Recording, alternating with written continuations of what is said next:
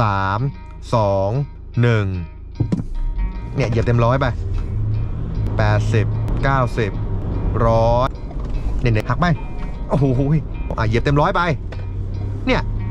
มาลัยผมรู้สึกว่ามันไม่แบบความเป็นรถ PPV 3 แถว 7 ที่นั่งในเวลาเปลี่ยนเลนหนักๆ เครื่องดีเซลเขาเสียงเบาลงนะครับ เดี๋ยวผมลองคลิกดาวน์นะ3 2 1 นะครับ ก็นี่ตัวถูกสุดนะ โอเค เปลี่ยนเลน 3 2 1 เมื่อกี้ มันเป็น character Ford แต่ถ้าเกิดเราหักซ้ายขวาปุ๊บเดี๋ยวเปลี่ยนเลนแล้วก็เราสูงให้ดู 3 2 3 2 1 และพวงมาลัย อาการสั่นอาการชก ดูซิความความโยนสนใจรถ PPV 3 แถว 7 ที่นั่ง ที่ไว้ใช้นั่งใช้งาน จอใหญ่ มีกล้องหลังมีเซ็นเซอร์รอบคันมี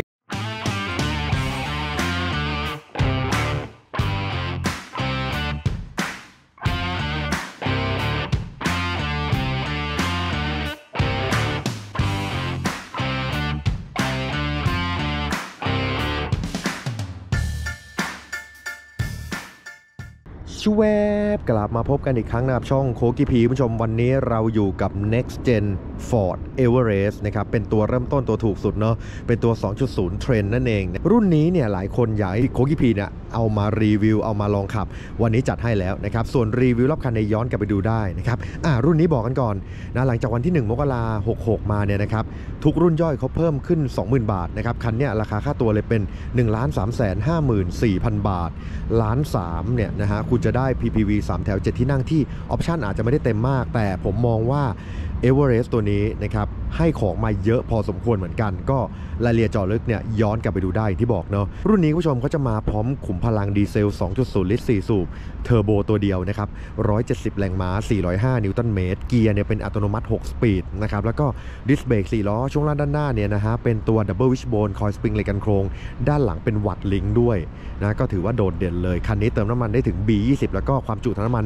80 ลิตร เติมเต็มเต็มๆถังเนี่ยนะฮะก็จะสามารถวิ่งได้ 8 900 โลเลยนะฮะรุ่นนี้ผู้ชมในส่วนของการตกแต่งดีไซน์เนี่ยอาจจะไม่ได้เต็มมาก แต่ก็พอมีให้นะครับแล้วก็เรื่องความปลอดภัยเนี่ยผมถือว่าใช้ได้นะเพราะเขามีคู c อนโทรลเขามีแอร์แบ็กนะครับรอบคัน 7 ลูก ABS EBD Traction Hill Assist มีเซ็นเซอร์ด้านหน้าด้านหลังนะครับมีกล้องมองหลังมาให้เนี่ย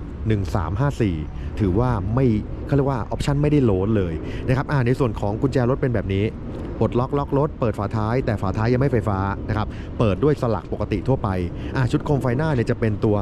Multi Reflector LED แบบนี้ มีระบบเปิด auto มาให้ด้วยนะ มีชุดโคมไฟหน้าที่เป็น daytime running light แต่ยังไม่ใช่ LED เต็มระบบนะฮะไฟเลี้ยวเนี่ยเป็นหลอดปกติ กระจังหน้าเนี่ยจะเป็นสีดำด้าน ประสานกับตัวขอบที่เป็น gloss back นะครับโลโก้ Ford ขนาดใหญ่กล้องมองรอบคันไม่มี เซ็นเซอร์ด้านหน้ามีนะครับแล้วก็ไฟตัดหมอกมีมาให้ด้วย นี่คือด้านหน้าตรงของตัว Everest ที่ถูกที่สุดนะคุณผู้ชม1 3 5 4 0 0 0 บาท ผมบอกเลยว่าด้านหน้าเนี่ยดูไม่โหลนมาก ส่วนล้อเนี่ยผู้ชมจะได้ล้อขนาด 18 นิ้ว ลวดลายเนี่ยก็ถือว่าพอไปวัดไปวานะครับไม่ได้โลนไม่ได้ทึบ ไม่ได้แบบว่าดูตันๆ ก็จะมีลวดลายมีลูกเล่นเหมือนกันนะครับรัดได้ยาง 25565R18 ดิสเบรก4ล้อกรุด้านในเนี่ยมีคลุมมาให้อย่างดีนะครับอันนี้โบเดียวนะครับฝาเข้าจะมองข้างมีไฟเลี้ยวในตัวด้วยนะฮะบันไดเนี่ยจะเป็นสีดำด้านแบบนี้ มือจับมีคีย์เลสปลดล็อกล็อกรถได้ แล้วก็ขอบหน้าต่างเนี่ยจะเป็นสีดำเป็นยางแบบนี้ นี่คือด้านข้าง ก็ไม่ได้ดูขี้เหร่นะ ไม่ได้มีความรู้สึกว่าเฮ้ยตัวเริ่มต้นมันจะโล้นจนน่าเกลียดอะไรเลยนะแต่จุดสังเกตแรกเลยก็คือด้านหลังเนี่ยไฟท้ายเนี่ยจะไม่เหมือนรุ่นอะไรเลยนะตัวเทรนเนี่ยไฟท้ายเนี่ยตรงนี้จะเป็นสีดำทึบเลย เขียน e v e r e s t นะฮะส่วนชุดไฟท้ายเนี่ยจะมีแค่ขอบด้านข้างตรงนี้ ซึ่งรุ่นอื่นๆเนี่ยจะมันมันจะเป็นไฟลากเชื่อมกันนะครับโลโก้ฟอร์ดรุ่นนี้ก็จะเล็กกว่าชาวบ้านเขาเพราะว่ามันถูกกินพื้นที่ตรงนี้มากล้องมองด้านหลังมีมาให้นะครับเซ็นเซอร์ด้านหลังมีมาให้ ยางอะไหล่ก็มีมาให้นะครับ ปลายท่อออกขวาเนาะแล้วก็สิ่งที่ไม่มีก็คืออะไร คือฝาท้ายไฟฟ้าไม่มีต้องเปิดเองแบบมือแบบนี้ แต่ผมบอกเลยว่าถ้าเกิดคุณจะซื้อ PPV แบบเอามาใช้งานเนี่ยมานั่งหรือว่ามาขับเนี่ยไม่ได้เน้นออปชันไม่ได้เน้นอะไรอย่างเงี้ยแล้วราคาจับต้องได้ง่ายเดี๋ยวผมว่าคันนี้น่าสน หรือถ้าเกิดกัดฟันนิดนึงนะครับไปตัวสปอร์ตก็ได้นะครับเพิ่มขึ้นมาอีกนิดเดียวเองเนี่ยก็ปิดมือแค่นั้นเองนะครับเอกลักษณ์ เอเวอเรสต์ก็ยังมีนะครับ ตรงนี้เป็นรูปเมืองนะสปอยเลอร์ตรงนี้ก็มีอะไรก็มีนะใบปัดน้ำฝนหลังอะไรต่างๆ นี่คือด้านข้าง โอเค เดี๋ยววันนี้เราพาไปลองศูนย์ถึงร้อยไปลองขับกันดูซิว่าเป็นอย่างไร แล้วก็รู้สึกยังไงในการขับตัว e v e r e s t ตัวถูกสุดหรือตัวเริ่มต้นตัวนี้ 1 3 5 4 0 0 0 บาท กดล็อก เปิดประตูขึ้นมานะครับเนี่ยภายในก็จะเน้นโทนสีดำนะครับจะเป็นงานพลาสติกขึ้นรูปเป็นหลักหน่อยนะ แล้วก็ปุ่มพุชสตาร์ทมีมาให้ ที่ผมชอบเลยผมรู้สึกว่าคนขับเนี่ย คุณได้เบาะปรับไฟฟ้าด้วยนะ นี่ตัวถูกสุดนะ เออ แล้วก็สิ่งที่แตกต่างจากรุ่นอื่นผู้ชมกระจกหลังตัดแสงออโต้ไม่มีนะครับจอตรงนี้ก็จะเล็กกว่าชาวบ้านเขาเป็นจอ 11.1 นะครับ Apple CarPlay and Auto แบบไร้สายได้ แล้วก็ชุดมาตรวัดเนี่ยเป็นดิจิตอล8 นิ้วไวเลสชาร์จก็มี นะ USB ก็มีแต่น้อยกว่าชาวบ้านเขาแค่นั้นเอง โอเคนะฮะ ไปลองขับกันดีกว่า นะครับ หลักๆ คร่าวๆ ประมาณนี้ถ้าอยากชมดีเทลจริงๆเนี่ยอย่างที่บอกนะ ย้อนกลับไปดูได้คลิปก่อนหน้านะครับ โอเค นะฮะ ก่อนไปชมกัน อย่าลืมกดแชร์ กดไลค์ กด Subscribe ให้ช่องโคกิพีด้วย แล้วก็ที่ขาดไม่ได้เลยนะคุณผู้ชม เปิดประสบการณ์อีกระดับของรสชาติกาแฟแท้ Raw Essential กาแฟสำเร็จรูปที่หอมที่สุด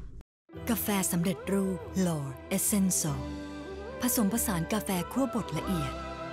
ดื่มด่ำกับรสชาติและกลิ่นหอมเข้มข้นของ Lord Essential สัมผัสสองรสชาติใหม่ที่น่าค้นหา และ SIA สยามอินเตอร์การประมูล ง่ายๆ ใครๆก็ประมูลได้ รถมือสองมากกว่า 4,000 คันต่อเดือนที่ SIA เพราะฉะนั้นก็อย่ารอช้าเปลี่ยนมุมกล้องแล้วไปลองขับ Next Gen Ford Everest 2.0 Trend ตัวเริ่มต้น 1 3 5 4 0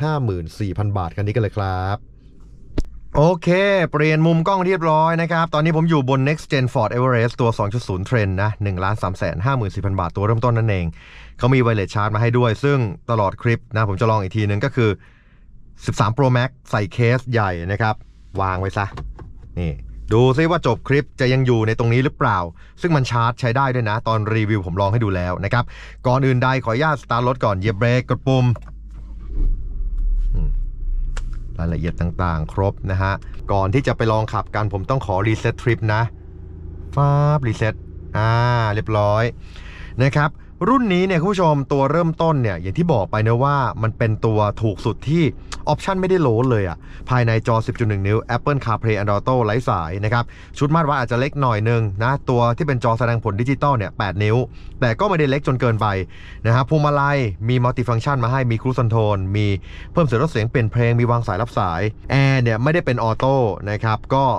บิดเองแบบนี้นะฮะ แล้วก็มี wireless charge มี USB Type A Type C มีเบรกมือไฟฟ้าอะไรครบนะครับ โอเค ก่อนจะไปลองขับกันนะครับ เราต้องคาด belt เนอะ น้องๆหนูๆที่ดูนะครับ ขับรถทุกครั้งอย่าไปซื้อนะ ไอตัวเนี้ยแล้วใส่มาเนี่ย เพื่อไม่ให้มันแจ้งเตือนเนี่ยแล้วจะนั่งปกติผมบอกเลยนะว่า คุณอาจจะรำคาญนิดหน่อยเวลาใส่ belt แต่ถ้าเกิดมันเกิดอุบัติเหตุขึ้นมาทีเนี่ย ช่วยชีวิตคุณได้เยอะจริงนะเออในแง่ที่แบบว่าผมผ่านมาทุกอย่างแล้วแหละนะในการขับบน track บนสนามทั้งในทั้งต่างประเทศนะครับ belt เนี่ยช่วยคุณได้จริง รุ่นนี้สำหรับตัว Next Gen Everest เนี่ย ที่เป็นตัวเริ่มต้นคุณจะได้เครื่องยนต์ดีเซลที่เป็นตัวเทอร์โบเดี่ยว เครื่องดีเซล 2.0 ลิตร 4 สูบ เทอร์โบ 1 ตัว 170 แรงม้าแรงบิดเนี่ย 405 นิวตันเมตร เกียร์ก็จะเป็นอัตโนมัติ 6 speed นะครับ แล้วก็ดิสเบรก4ล้อ ช่วงล่างด้านหน้าเนี่ยนะฮะ ตัว double wishbone coil spring เหล็กกันโครงด้านหลัง เป็น Watt's link ด้วย คุณจะสามารถขับได้แบบสบายใจมากๆ เพราะว่าการ เกาะถนนการอะไรต่างๆเนี่ยมันจะดีกับตัว torsion beam นะครับโอเค เดี๋ยววันนี้นะฮะผมจะเอาตัวถูกสุดตัวเริ่มต้นเนี่ยไปลองขับให้ดูว่าเป็นอย่างไร เพราะว่าคันนี้เนี่ยเนี่ยจอดให้คนข้ามก่อนคุณผู้ชมผมปลูกฝังเลยนะ เอาจริง เวลาเจอทางม้าลาย ถ้าเจอคนเจออะไรก็ตาม คุณตรวจแล้วรอบคันว่าด้านหลังไม่ได้มีรถมาเร็ว หรืออะไรก็ตาม คุณต้องเบรกนะ นี่คือลักษณะนิสัยที่ผมอยากจะฝากทุกคนจริง ๆ ราะทุกวันนี้มันเละเทะไปหมดแล้วจริงๆนะไม่รู้คุณผู้ชมคิดเห็นเหมือนผมหรือเปล่าขับออกมาจากบ้านมาบนถนนทีไรรู้สึกว่ามันไม่ปลอดภัยเลยอะนะครับมันพร้อมจะถูกชนตลอดเวลาทั้งรถที่ผ่าไฟแดง รถย้อนสอน ทั้งรถทั้งมอไซค์รถที่เปลี่ยนเลนกระทันหันรถที่แข่งซิ่งรถอะไรมันเต็มไปหมดเลยอะเราต้องเซฟตัวเอง เราต้องสร้าง เขาเรียกว่าสภาพนะครับการใช้งานบนถนนเนี่ยร่วมกันให้มันมีความสุข นะครับเพราะไม่ฉะนั้นเนี่ยเดี๋ยวหลังจากนี้ไปเนี่ยพอเด็กๆที่โตขึ้นมาเนี่ยนะถ้าผมไม่ปลูกฝังน้องๆที่ดูช่องอยู่เนี่ยโตขึ้นมาก็จะเป็นแบบนี้ซ้ำแล้วซ้ำอีกนะครับเปิดเขาเรียกว่าอะไรจะเปลี่ยนเลนเนี่ยเปิดไฟเลี้ยวล่วงหน้าก่อนเลยนะครับอย่างต่ำเนี่ยกี่เมตรก็ว่าไปแต่ต้องเปิดอย่างต่ำไม่ใช่เปิดแล้วออกเลยไม่ใช่ หรือออกแล้วเปิดไม่ต้องเปิดก็ได้อย่างนั้นนะ นะเปิดให้ก่อนนะให้ด้านหลังรู้ว่าเราจะเปลี่ยนเลนเขาจะเร่งมาเพื่อไม่ให้เราเปลี่ยนก็แล้วแต่ก็ให้เขาเร่งไปใช่ไหมเราถือว่าเราทำถูกกฎแล้วนะครับเจอไฟแดงเจอไฟเขียวเราก็ทำตามกฎตามนั้นนี่เราบ่นมาเยอะแล้วโอเค เดี๋ยวเราจะพูดกันต่อนะครับ170ม้า405 นิวตันเมตรนะครับเกียร์ auto 6 speed นะช่วงลงช่วงล่างผมถือว่าเซ็ตมาดี แล้วก็สิ่งที่ผมมองว่ามันคุ้มค่านะ การดีไซน์ภายนอกเนี่ยอาจจะดูโล้นๆไปหน่อย แต่ไม่ได้โล้นมากนะเพราะล้อก็ดูไม่แย่นะครับ ด้านหลังไฟท้ายนะครับก็จะเป็นบาร์ทึบอะไรอย่างเงี้ยที่ผมพาดูเมื่อกี้นะทีนี้เราจะพาไปลองกันนะครับว่าอัตราเร่ง0ถึง100นะครับ handling ความเร็วสูงต่างๆเป็นไง เพราะว่าคันนี้ถ้าเทียบกับตัวท็อปล้อเขาเป็น 18 นิ้ว ตัวท็อป 20 แน่นอน 18 นิ้ว มันจะต้องมีความยวบ มันจะต้องมีความนุ่มเยอะกว่าอยู่แล้ว แล้วทีนี้แหละผมเปลี่ยนเลยนะความเร็วสูง มันจะ ขับเป็นยังไง เดี๋ยวลองให้ดูนะครับเบื้องต้น position การนั่งตามแบบฉบับ next gen ทั้ง Ranger ทั้ง Everest นะครับจะรู้สึกอย่างแรกเลยว่ามันตัดมันเป็นแบบแนวตั้งเกินไปหน่อยหนึ่งอันนี้มุมมองผมนะ ผมรู้สึกว่าจอเนี่ยเห็นปะบางมุมเนี่ยมันดูแล้วแบบเฮ้ยมันสะท้อนเยอะ แต่ด้วยคันเนี่ยเป็นรถทดสอบอาจจะไม่ได้ติดฟิล์มมาด้วยส่วนหนึ่งนะฮะแต่รู้สึกว่ามันชันไปนิดนึงถ้ามันเอนลงมาหน่อยหรือมีองศาที่เอียงมาหาคนขับหน่อย มันจะ มุมมองดีกว่านี้นี่มุมโค้กนะ แล้วก็เรื่องของ position เบาะผมว่าใช้ได้ กระจกบังลมด้านหน้ากว้าง ด้านข้างกว้างนะครับพวงมาลัยตามแบบฉบับ Ford นะครับเป็นพวงมาลัยไฟฟ้าที่เบาและแม่นใช้ได้ แต่คันนี้นะครับความเป็น next gen เนี่ยพวงมาลัยผมรู้สึกว่ามันไม่เบาเท่า Ranger หรือ Everest รุ่นก่อนหน้า รุ่นก่อนหน้าเนี่ย มือเดียวเนี่ยเทียบแทบจะควงได้เลยเบามาก แต่เนี่ยจะมีน้ำหนักที่มันหนืดขึ้นมาหน่อยนึง ก็จะทำให้เรารู้สึกว่าเอ้ยมันมั่นใจขึ้น แต่ไม่ได้หนักนะ เนี่ยผมลองเปลี่ยนเลนส์ดูนะสามสองหนึ่งเนี่ย เนี่ยปลายสามสองหนึ่งเนี่ยแต่ความเป็นรถ PPV สามแถวเจ็ดที่นั่งเนี่ยเวลาเปลี่ยนเลนหนักๆเนี่ยมันก็จะดึงดึงดึงดึงหน่อยนึงไม่ว่ากันนะครับ เพราะว่าอย่างที่เข้าใจกันดีเนาะรถมันยกสูงช่วงล่างมันเซตมาเพื่อการเป็นรถแบบนั่งโดยสารเนี่ยมันก็จะติดนุ่มมาหน่อยนึง ซึ่งถ้าคุณเทียบกับ Ford รุ่นเก่าๆ ทั้ง Ranger หรือ Everest เองเนี่ย Next Gen รุ่นใหม่ทั้ง Ranger หรือ Everest จะมีความนุ่มจะมีความโยนขึ้นมามากกว่าเดิมนิดหนึ่งนะนั่งโดยสารดีแหละ ผมลองเปลี่ยนเลนหนักๆดูนะ นี่ เห็นป่ะ ตึกตึกตึกแดะเห็นป่ะ มันแบบโครงโครงๆหน่อยนึงแต่เราลองให้ดู มันไม่ได้หวิวอะไรขนาดนั้น แต่ถ้าเกิดเราหักซ้ายหักขวาแรงๆเนี่ย ก็จะมีอาการให้เห็นเหมือนกันนะครับ โอเค ตอนนี้เหยียบคันเร่งอยู่ที่ประมาณ 10%เนี่ย ก็จะความเร็วประมาณ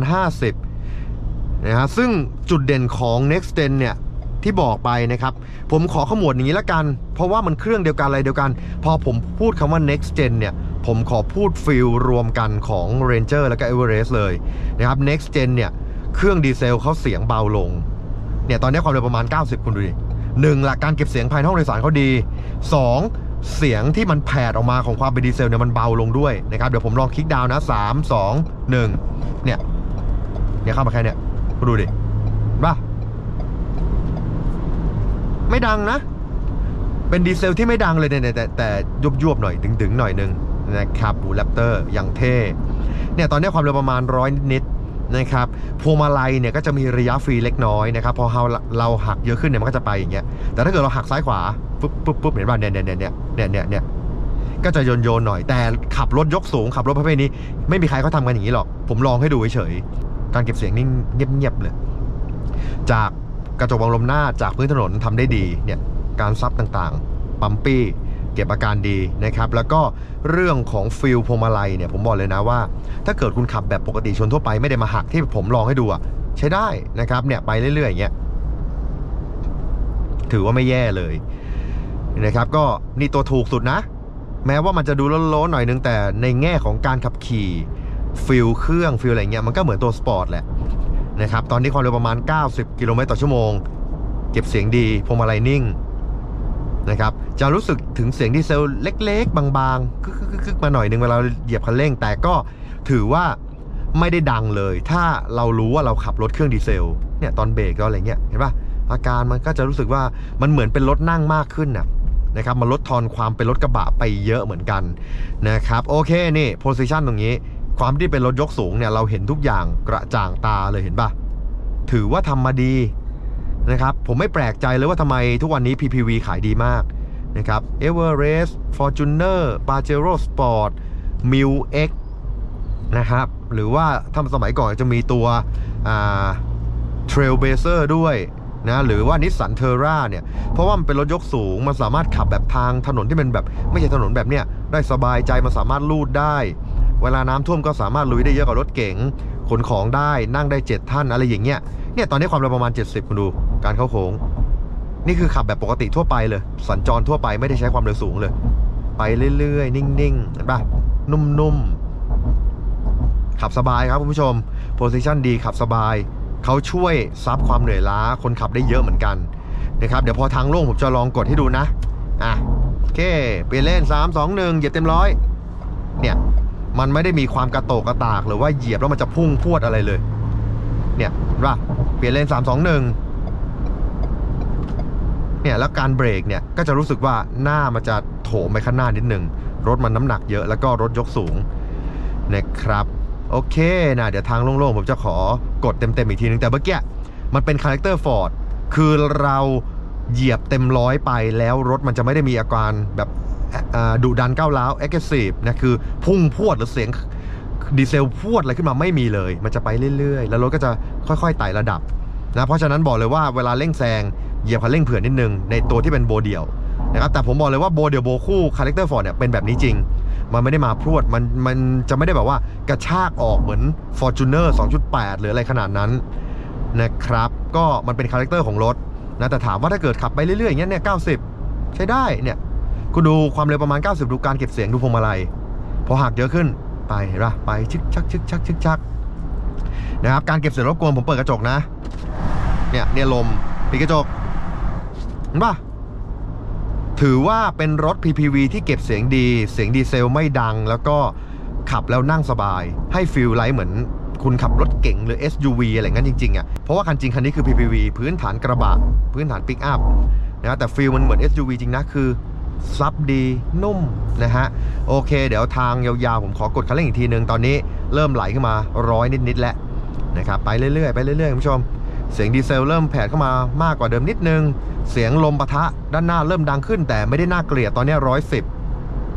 ไม่ได้น่าเกลียดเลยถ้าคุณได้ยินเสียงผมชัดเนี่ยผมถือว่าโอเค ในความเป็นรถยกสูงแบบนี้ลมปะทะแรงๆอะเร่งแซง3 2 1เนี่ยผมเหยียบเต็มร้อยมิดคันเร่งไปเลยเห็นปะ ไม่ได้รู้สึกว่ามันดึงกระชากอะไรเลย แต่ความเร็วมันไหลนะนะครับผมบอกเลยนะว่าคันเนี้ยตอบโจทย์สำหรับคนที่ไม่ได้เอาไปซิ่งไปซ่า ขับไปเรื่อยๆ เป็นรถ SUV เป็นรถ PPV ที่แบบว่า เออ ซื้อมาใช้งาน ซื้อมานั่งโดยสาร ไปทั้งครอบครัวไม่ได้เน้นออปชั่นอะไรเงี้ย ไปเรื่อยๆร้อยยี่ร้อยอะไรเงี้ย อันนี้ผมลองให้ดู เพื่อประโยชน์ของผู้ชมนะ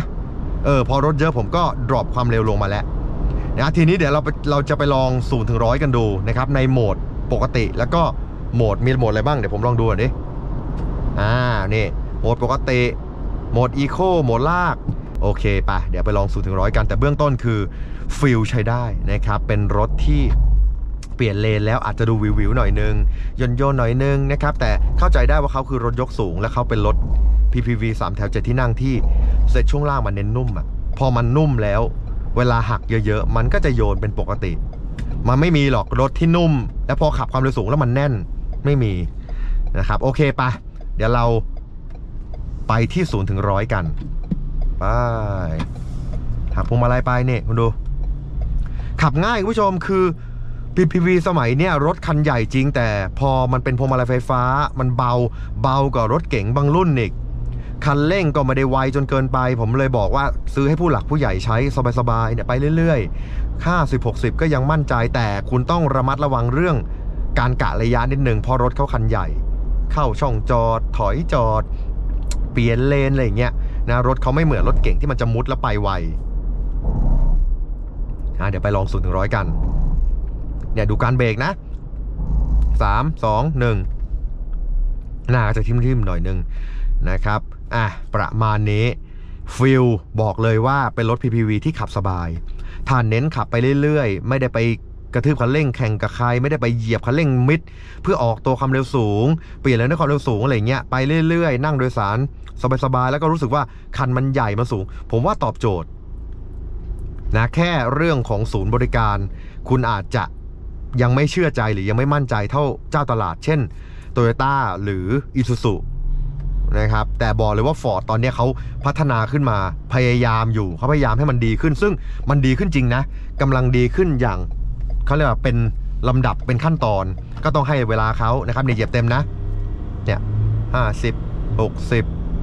ว่าเจ็ดสิบแปดสิบไม่ได้มาเร็ว แล้วก็ไม่ได้มีอาการแบบโอ้โหพุ่งพวดอะไรขนาดนั้นแต่แป๊บเดียวร้อยเหมือนกัน เดี๋ยวเราไปดูนะครับว่า0ูนย์ถึงร้อยแล้วมันเท่าไหร่ เพราะว่า ฟิลความรู้สึกเนี่ยมันไม่ได้กระชากไม่ได้กระแทกกระทันแต่การจับด้วยกล่องเนี่ยมันคือความแม่นที่สุด เราจะรู้เลยว่ามัน0ูนถึงร้อยสิบวิสิบเอ็ดวิช้าหรือเร็วขนาดไหนนะครับเพราะว่าถ้าเป็นกลุ่มฟอ่า Fortuner ถ้าเป็น 2.4 นะฮะมันก็จะประมาณ 13 14 ใช่ไหมถ้าผมจำไม่ผิดเนาะถ้าเป็น 2.8 เนี่ยมันมาประมาณ 10 11 นะ แต่เดี๋ยวดูคันนี้ว่าเป็นไงเนี่ยตอนนี้ความเร็วประมาณ 90 ผมขอปรับเป็นโหมดปกติก่อนนะ อ่านี่โหมดปกติเนี่ยเข้าโค้งตรงนี้เห็นป่ะก็จะดูมันโยนๆหน่อยนึง แต่ถ้าเกิดคุณรู้สึกว่ามันโยนจนเกินไปเนี่ยผมต้องบอกเลยนะว่า คุณอาจจะต้องไปดูพวก Fortuner หรืออะไรอย่างนี้ เนี่ยลงตรงนี้ดูดิ ปล่อยไหลไปความเร็ว 20 เนี่ยซับดี ไม่ได้รู้สึกว่ามันคือรถกระบะหรืออะไรที่มันตึงตังเลย มันซับดีจริง อันนี้ยอมรับนะครับ แต่ถ้าเกิดคุณอยากได้ feel ที่มันนุ่มกว่านี้ แอบโยนกว่านี้ คุณอาจจะต้องไปดู MU-X ผมบอกเลยนะ feel character มันแตกต่างกัน โยนกว่านี้ยวบกว่านี้ไป m ิ l X กกระด้างตึงตังกว่านี้นะครับไป Terra หรือ Fortuner แต่ถ้าเกิดจะเอา feel ช่วงล่างที่ผมมองว่าเป็น PPV ที่ช่วงล่างดีจริง Fortuner GR ดีสุดแต่ราคาแรงสุดเลย อ้าวผู้ชม ตอนนี้เราศูนย์ถึงร้อย Ford Next Gen Everest ตัวเทรนตัวถูกสุดนะ ตัวโบเดี่ยว 170 แรงม้าไปนะ โหมดปกตินะ 5 4 3 2 1เนี่ยเหยียบเต็มร้อยไป30 50 60 70 80 90ร้อย11.67เจ็ดเฮ้ยไม่แย่นะ11วิ ผมถือว่าไม่แย่อะลองหักตรงนี้หน่อยดิเนี่ยเนี่ยโยนโยนๆหน่อย หักไปโอ้โหเหเห็นปะมันจะรู้สึกหวิวหวิวหน่อยแต่ถามว่าเอาอยู่ไหมเอาอยู่ แต่แค่ การที่เขาเซตช่วงล่างนะครับ set position การติดตั้งช็อคอัพเนี่ยให้มันแบบซับดีในแง่การเป็นรถความเป็นรถเก๋งเนี่ยพอมันโยนหนักๆ มันก็จะเป็น feel แบบนี้แหละ มันจะไม่ได้ตึงตังอะไรขนาดนั้น 11.67 วิผมถือว่าไม่แย่นะ เออ ไม่แย่เลยนะครับ โอเค ลองให้ดูแล้ว 11.67 นะครับ แค่feel เรารู้สึกว่ามันไม่เร็วแค่นั้นแหละ อย่างที่ผมบอกไปเนาะว่า เราต้องจับด้วยกล่องเราถึงจะรู้ นะทีนี้เดี๋ยวเราไปลองขับยาวๆกันอีกทีหนึ่งไปหักตรงนี้แรงๆ นี่ดีมี D-Max คันนี้ติดอิซูซุสีทองซะเลยเบ้อเริ่มเลยนะเดี๋ยวนี้ฮิตกันตัวอักษรไม่ว่าจะติดฝากระโปรงจะติดฝาท้ายนะครับ ต้องเป็นชื่อรุ่นหรือเป็นชื่อแบรนด์นะครับ แล้วแต่ความชอบรสนิยมนี้ผมไม่ผมไม่มาฟันธงว่าสวยไม่สวยแย่ไม่แย่นะครับ มันคือความสุขมันคือรถของเรา ถ้าทำแล้วไม่เดือดร้อนใครทำไปเถอะนะแต่ไอ้พวกที่แบบว่ามาติดไฟ LED เต็มไปหมด สว่างอะไรอย่างเงี้ยเวลาเบรกคือเบรกทีเห็นทั้งหมดอะไรเงี้ยรบกวนตาชาวบ้านนี้ต้องด่านะครับแต่เนี้ยไม่มีปัญหานะครับ โอเคนะ เราเข้าโค้งตรงนี้ไป ไฟแดงฝั่งเขาอะเหยียบเต็มร้อยไป เนี่ยไม่ได้ดึงหลังติดเบาะอะไรเลยเนี่ยไป 60 80 90 ร้อยเห็นปะมาไม่เร็ว บวกกับเขาเป็นรถคันใหญ่รถยกสูง กับความมาไม่เร็วเนี่ยจะรู้สึกเลยว่ามันไม่ได้มาพุ่งพวดเลยขนาดนั้นเนี่ยตอนเนี้ยความเร็วสูงประมาณนึงแล้วเห็นปะการเก็บเสียงคุณดู handling ก็ยังแน่นอยู่นะ นี่เพื่อการทดสอบให้ดูนะ และพวงมาลัย อาการสั่นอาการชก เล็กน้อย ไม่ได้ดีดเยอะเนี่ยเห็นปะใช้ได้นะครับ อะ handling พวงมาลัยคุณดู เนี่ยพอหักเยอะขึ้นแบบมันก็เริ่มไปชิบชับชิบชับชิบชับหน่อยเห็นปะเออถือว่าไม่น่าเกลียดนะครับ แล้วผมแอบจะรู้สึกว่ามันนุ่มกว่าพวกล้อ 20 ด้วยซ้ำไปนะฮะโอเค เดี๋ยวเปลี่ยนเลนส์นครสูงให้ดู 3 2 1สามสองหนึ่งเนี่ยถ้าเราหักไม่แรงมากอะ่ะ มันไปอยู่นะ มันฟึบฟึบอยู่ แต่ถ้าเกิดคุณหักฟึบฟับอย่างเงี้ยวิวแน่นอน นะครับ โอเคนะฮะ เดี๋ยวทางโล่งนะ เราจะกลับรถแล้วก็จะลองเรื่องระบบต่างๆ แต่บอกเลยว่าระบบเขาก็ไม่ได้มีอะไร เพราะว่าอย่าลืมนี่คือตัวเริ่มต้นนี่คือตัวถูกสุด next gen Everest ตัว 2.0 Trend เหยียบเต็มร้อยเนี่ยไม่ได้ดึงไม่ได้อะไรเยอะแยะนะครับ170 ม้า การแต่การเปลี่ยนเกียร์ 6 speed ผมว่านุ่มดีนะ smooth ดีนะเปลี่ยนเลนที่ 1 3 2 1 นี่เริ่มหักแรงบ้าเริ่มหวิวๆหน่อยนึงเปลี่ยนเลนทำ2 1 ถ้าคุณเข้าในจังหวะที่พอดี หรือกำลังดีผมว่าไม่น่าเกลียดนะครับ เนี่ยเปลี่ยนที่หนึ่งไป้ายเนี่ยถ้าเราไปอย่างเงี้ยแม้ว่าจะเป็นความเร็วสูงหน่อยนึงแต่ เราไม่ได้หักฟับเลยอะ่ะไม่น่ากลัวเนี่ยไปเรื่อยๆอย่างเงี้ยลองเปลี่ยนเลนดูนะเนี่ยแต่อย่าลืมเปิดไฟบอกงี้เลยนะครับจะเปลี่ยนเลนทุกครั้งอย่าลืมเปิดไฟนะครับโอเค นะครับอะความปลอดภัยมาตรฐานคันนี้ Airbag 7 ลูก ABS EBD Hill Assist นะครับ มีมาให้หมดระบบมาตรฐานนะ ช่วยเหลือการขับขี่นะครับ แล้วก็เรื่องของกล้องด้านหลัง 1 มุม เซ็นเซอร์ด้านหน้าด้านหลังมี กระจกด้านข้างไม่มีบายสปอตแต่กระจกโคตรใหญ่ความเป็น Next Gen อะเข้าโค้งตรงนี้ ความเร็วสูงทีหนึ่งดูซิความความโยน ไม่มาก แต่ก็ไม่ได้ไปแบบฟึบอะไรขนาดนั้นยังมีอาการโยนโยนๆไหลๆหน่อยนึงนะครับ แต่ไม่ได้น่าเกลียดเลย ใส่เข้าไป เนี่ยดูการเข้าโค้ง ไม่น่าเกลียดไม่น่าเกลียดนะครับไม่น่าเกลียดเลยเอาเปลี่ยนเลนทีหนึ่งไป ทีนี้เบรกแล้วเดี๋ยวเราไปกลับรถ เบรกหนึ่งที่ไปนะครับป้ายเนี่ยเราเข้าตรงนี้กันหน่อย อะเดี๋ยวผมจะปล่อยไหลตรงนี้นะครับ ความเร็วสัก 30 นิดๆ โดยที่ไม่เหยียบเบรกนะ ดูซิว่า การซับแรงสั่นสะเทือนเป็นไงเนี่ยผมยกคันเร่งเลย ปล่อยไหลนุ่ม ไม่ตึงตังอะไรเลย อะพอและข้างหน้ามีรถก็เบรกนะครับลองให้ดู 30-40 นะครับ ที่ประจำถ้าเกิดเป็นรถที่ช่วงล่างมันระยะช็อคอัพมัน rebound น้อยมันตึงอะ มันจะตึงเลยแต่เนี่ยปุ๊บเนี่ยความเร็วประมาณ 20 เนี่ยเห็นปะใช้ได้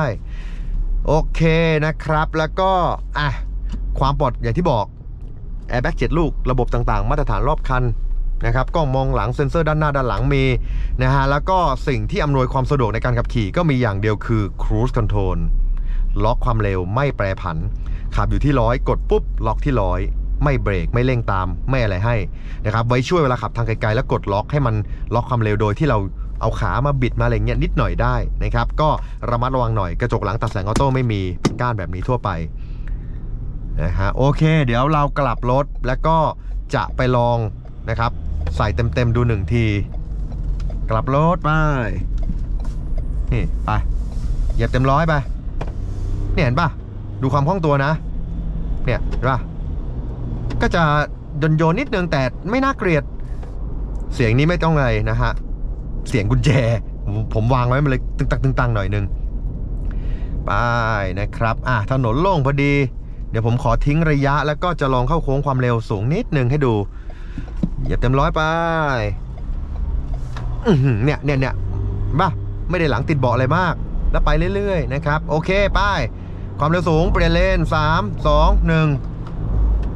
มาสักร้อยหนึ่งเลี้ยงสักร้อยหนึ่งเข้าโค้งไปไปสักเนี่ยอะไหลไหลลงมา 90 กว่าแล้ว 90 ปลายปลายใส่ไป ไม่แย่เนี่ย เข้าโค้งเนียนๆเลย อ่าผมลองโชว์การใช้งานระบบ Cruise Control ให้ดูแล้วกันนะครับ ไม่ยากแต่ก็ต้องลองให้ดูนะครับ หลักง่ายๆนะฮะพวงมาลัยมัลติฟังก์ชันฝั่งซ้ายที่เป็นรูปมาตรวัดตรงเนี้ยคุณกดมาปุ๊บ แค่นั้นเลยเนี่ยเดี๋ยวผมลองให้ดูอีกทีหนึ่งผมแคนเซิลก่อน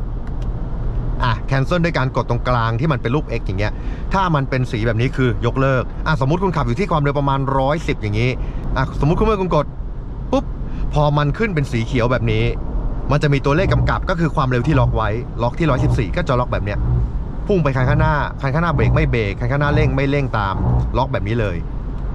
นะครับก็นี่คือครูซอนโทนที่มีมาให้เท่านั้น ที่เหลือคือมาตรฐานความปลอดภัยทั่วไปนะครับก็สรุปโดยรวมเลยละกันสำหรับ next gen Ford Everest ตัว 2.0 Trend ตัวเริ่มต้น 1 3 5 4 0 0 0 บาท ราคาเพิ่มขึ้นแล้วนะ ปีใหม่มาเพิ่ม 20,000นะครับ รุ่นนี้มาพร้อมเครื่องดีเซล 2.0 4 สูบโบตัวเดียว 170 แรงม้า 405 นิวตัน เกียร์ออโต้ 6 speed นะ ไม่มีตัวเลือกเกียร์ manual นะ เกียร์ออโต้ 6 speed เท่านั้นช่วงล่างด้านหน้านะฮะ double wishbone coil spring เหล็กกันโค้งด้านหลัง Watt's link ดิสเบรก4ล้อนะครับแล้วก็ความจุถังน้ำมัน 80 ลิตรรองรับการเติมถึง B20 0ถึง100 11.67 วิถือว่าไม่แย่นะครับ แต่แค่ความรู้สึกเราอะพอกระทืบคันเร่งแล้ว มันไม่ได้พุ่งพรวด มันไม่ได้แรงมากบวกกับช่วงล่างที่มันเก็บอาการดีกับรถยกสูง เลยรู้สึกว่า เฮ้ย มันไปเรื่อยๆ มันช้าว่ะ แต่0ถึง111วินะ เออ นะครับ handling ความเร็วต่ำรถยกสูง รถใหญ่จริง แต่ไม่รู้สึกเลยว่า เฮ้ย มันเถอะทะว่ะ นะครับพวงมาลัยไฟฟ้า เบา เบากว่า Fortuner เบากว่า Terra เบากว่า m i l X เบากว่า Pajero Sport นะครับแต่หนักกว่า Ranger กับ Everest รุ่นเก่า อันเนี้ยหนักขึ้นมานิดนึงนะครับก็ทัชชิ่งดี ระยะฟรีมีเล็กน้อยแต่หักเยอะขึ้นคุณดูเนี่ยก็เริ่มไปเห็นปะปั๊บปั๊บปั๊บปั๊บการเก็บเสียงผมลองให้ดูแล้วหลังจาก 130 ถึงจะเริ่มรู้สึกว่ามีลมปะทะดังๆเนี่ยแต่ตอนเนี้ย80 90 100หนึ่งเนี้ย เก็บเสียงดีในระยะความเร็วเดินทางเนี้ยคุยรู้เรื่องฟังเพลงสบายและที่สำคัญเลยตัวเริ่มต้น Apple CarPlay and Auto แบบไร้สายจอ 10.1 นิ้ว เปิดได้แล้วก็ลำโพง 8ตำแหน่ง เกรดเครื่องเสียงอันนี้ไม่อวยกัน ผมว่าเครื่องเสียงติดรถยนต์ของ Ford Next Gen ทั้ง Ranger และ Everest ผมว่าใช้ได้ ไม่แบน มีเบส มีอะไรต่างๆ ให้มาแบบ เออ เออ ปรับมาได้ดีแล้วก็รู้สึกว่ารายละเอียดมันใช้ได้เลยอะ่ะ อืม นะครับแต่อย่างที่บอกว่าช่วงล่างคันนี้ถ้าเทียบกับตัวเก่า ความตึงตัง ความกระแทกกระทันความดุดันก้าวร้าวจะหายไปหน่อยนึง มันจะมีความนุ่มติดปลายมาเยอะกว่า เช่นเวลาเบรกหนักๆ มันจะมีอาการแบบยึ้งขึ้นมาเยอะหน่อย แล้วก็ช่วงที่แบบว่าเราหักเปลี่ยนเลนด้วยความเร็วสูงอะไรเงี้ยมันจะมีอาการโยนโยนๆเยอะกว่าหน่อยนึงอย่างแรกเลยสิ่งที่ผมอยากจะบอกสำหรับคนที่ดูรุ่นนี้อยู่ ผมบอกเลยนะว่าถ้าเกิดคุณไม่ซีว่าจะต้องได้ไฟท้ายเป็นบาร์ยาว LED คุณจะต้องได้ ฝาท้ายไฟฟ้าพร้อมระบบคลิกเซนเซอร์ หรือ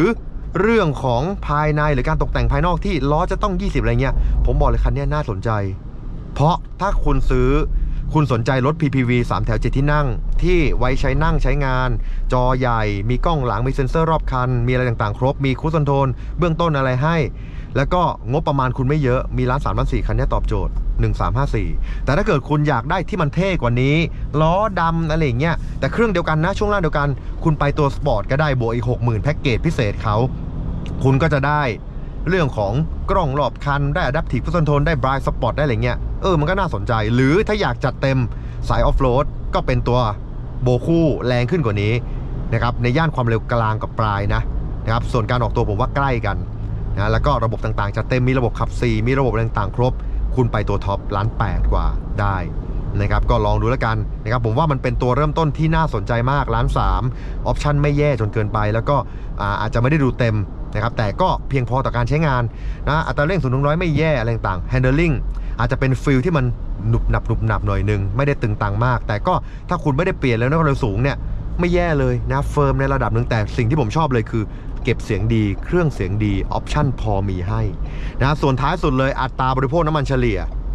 ขับมาแบบโคกิพีมีศูนย์ถึงร้อยหนึ่งที แล้วก็ใช้ความเร็วสูงอยู่จังหวะหนึ่ง